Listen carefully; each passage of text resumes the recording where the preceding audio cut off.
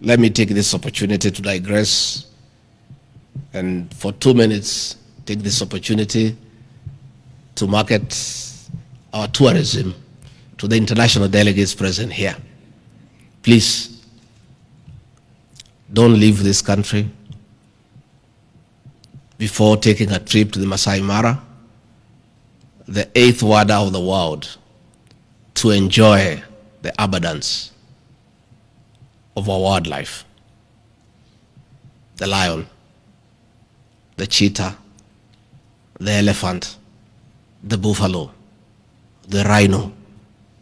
How can you possibly go back to your country before going to see those animals? Please, I beg you.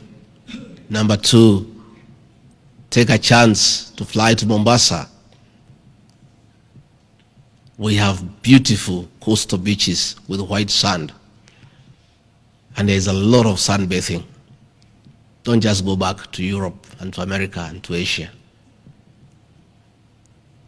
Our cultural heritage is the best in the world.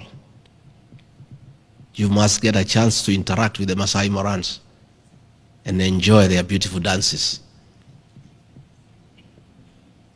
And those Masais, they kill lions with their bare hands. You need to see them.